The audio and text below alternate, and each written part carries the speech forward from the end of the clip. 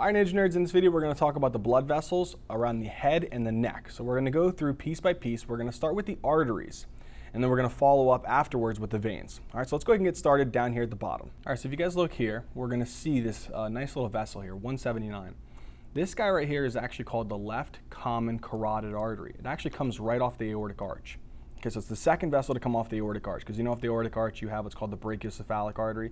That one will go into what's called the right subclavian and the right common carotid. The second one is the left common carotid. So this is this guy right here. The left common carotid will move up, up, up superiorly, and then it'll branch into what's called an external and internal carotid artery.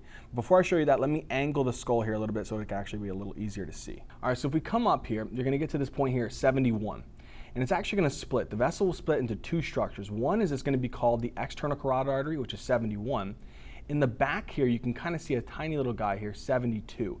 That's the internal carotid artery. The internal carotid artery will continue to move upwards through the carotid canal and then the foramen lacerum, and it'll go and actually into the brain to supply the circle of Willis. Okay, we'll have another video on the circle of Willis. Okay? Now, the external carotid artery is going to supply a lot of the actual external structures. One of them is it gives off a branch here, 73. 73 is actually called the superior thyroid artery. Okay, so it's going to give off a superior thyroid artery. Then, if we go up a little bit more, we can see a tiny little vessel right here coming off of the external carotid artery. It's a tiny little one here. And it actually goes underneath a lot of these muscles to supply the tongue. It's called the lingual artery. Okay, so we have the superior thyroid artery, then the next one is the lingual artery. All right, so if we follow this up more, we're gonna have here again, this is the facial artery. Okay, so it's gonna come up over the mandible, and it's going to be supplying a lot of the muscles of the face and some of the skin of the face. Okay, so this is going to be the facial artery right there. Okay. Then if we come back here and take another little view, okay, we had external carotid artery in order. We had superior thyroid, we had lingual, we had facial. As we continue upwards, you're going to give off another one. That's going to go right here in the back. Okay, so you know you have the mandibular condyles. It's going to go right posterior to this posterior mandibular condyle backwards. This artery right there is called the maxillary artery. Okay, so it's called the maxillary artery. And then one more branch is going to be going back up here. So this is going to be called the superficial temporal artery. So the superficial temporal artery. So if maxillary artery, superficial temporal artery, and then one more is it comes from the back. Okay, so again, if you guys see this, another, another branch coming off here. This is another branch of the external carotid artery. It actually comes here, kind of dips underneath the mastoid process here, and comes out the back into the occipital region. Okay, this is called the occipital artery. Okay, so let's go do a quick recap of them running up through the top all the way through. Okay, so recap. Left common carotid gives off external carotid artery and internal carotid artery. Internal carotid artery goes up and supplies the circle of Willis. That was 72. 71 is the external carotid artery. What was the first branch here? Superior thyroid. The next one was this tiny little guy here that moves underneath a lot of these muscles here, these suprahyoid muscles. This is called the lingual artery. Another branch comes up over the mandible, and this is the facial artery. Then, as it proceeds superiorly, it gives off another branch going up right here. You can kind of see it right here in the back part of the mandibular condyle, this posterior mandibular condyle here. This right there is called the maxillary artery. Then as we go up even more superiorly, up into the temple region, where the uh, temporalis muscle is, you're going to have the superficial temporal artery. And then if we come backwards, we'll see a tiny little guy coming off here that goes underneath the mastoid process and into the back where the occipital region is. This is the occipital artery. All right, so that covers the branches of the external carotid artery. All right, so this is actually going to be another view of the facial uh, artery here, another view of the facial artery. But as you continue to go upwards, you'll see what's called uh, another artery kind of coming out from uh, the orbit here. This is actually called the supratrochlear artery. It runs with what's called the supratrochlear nerve, which is a branch off of the trigeminal nerve. But again, this artery here is actually called the supratrochlear artery. Okay, just so that you don't get it confused with the facial artery. All right, so let's hit one more artery down here in the lower part of the neck before we move up onto the veins. So if you remember, I told you that the aortic arch had three big vessels coming off of it. One was called the brachiocephalic artery. The brachiocephalic artery split into what's called the right subclavian and the right common carotid. The next one was the left common carotid. We already talked about that, all of its branches. The third branch is going to be right here, this tiny little guy here, 83. This is called the left subclavian artery. Okay, so the left subclavian artery will then continue eventually into what's called the axillary artery. Okay, so it'll also have some of its branches though too.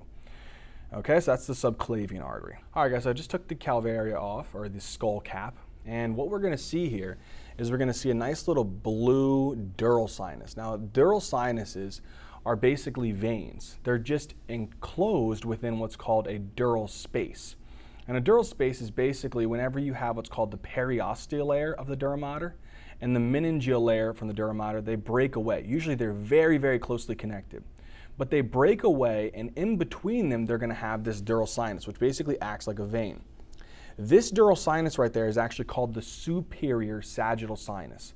And it actually runs within a nice little dural septa, which we call the falx cerebri, which is within the longitudinal fissure. Okay? So again, that's the falx cerebri. It's one of the dural sinuses. It's acting like a vein and it's draining the blood, okay? And it's going to then take it to some other structures, okay? So again, that's the superior sagittal sinus. All right, guys, so now we're gonna take a look at the dural sinuses inside of the skull here, a little bit in the inferior portion. So we saw the superior sagittal sinus on the skull cap. Now we're gonna look here in, inside. If you look here, we're gonna have what's called the occipital sinus, okay? So this one right here is called the occipital sinus. Then we're going to have this nice little big old structure right here called the junction or the confluence of a lot of the sinuses. Okay, so that's the junction or the confluence of the sinuses. And again, this is the occipital. Moving here, this sinus, which is kind of moving from side to side here, a little bit more anteriorly, this is called the transverse sinus. Transverse sinus. Then it actually is going to have a little sinus here that's moving on the upper part um, of the petrous component of the temporal bone. So this is called, this one up here, is called the superior petrosal sinus. And then there's one right here, which is on the inferior part of the uh, petrous component of the temporal bone. This is called the inferior petrosal sinus. If you guys remember from the abducens nerve video, it moves with the abducens nerve through the Dorello's canal into the cavernous sinus. So again, this is the inferior petrosal sinus right there. This right here is called the sigmoid sinus. Okay, this is called the sigmoid sinus.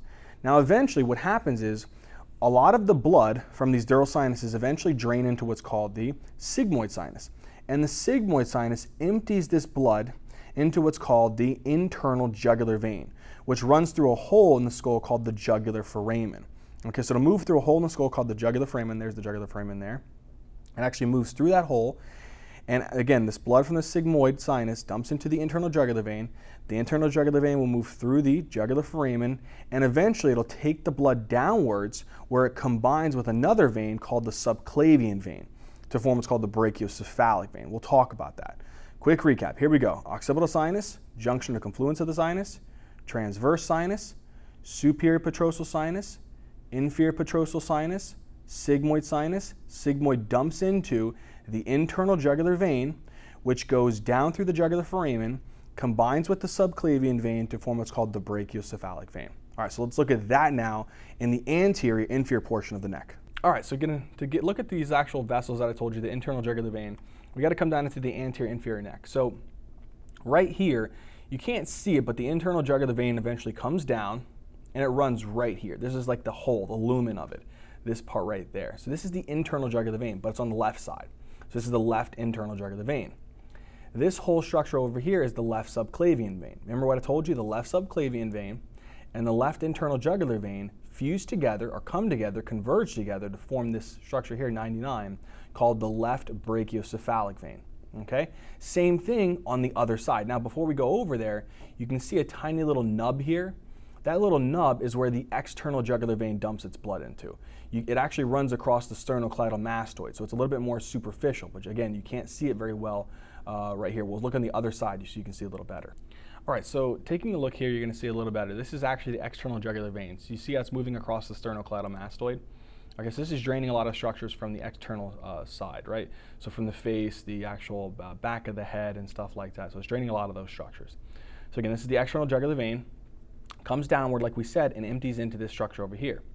Okay, so since that's the right external jugular vein, it dumps over here into the right subclavian vein. And again, if you can kind of see right here, you'll see a tiny little tidbit of the right internal jugular vein fusing with the right subclavian vein to form the right brachiocephalic, which eventually merges with the left brachiocephalic to form what's called the superior vena cava, which empties into the right atrium of the heart. All right, so that covers all of that. All right, Ninja so that pretty much covers everything that we were gonna talk about with all the vessels of the head and the neck and even inside of the skull. I hope all of it made sense. I hope you guys really did enjoy it. If you guys did, please hit the like button, comment down in the comment section, and please subscribe. As always, Ninja Nerds, until next time.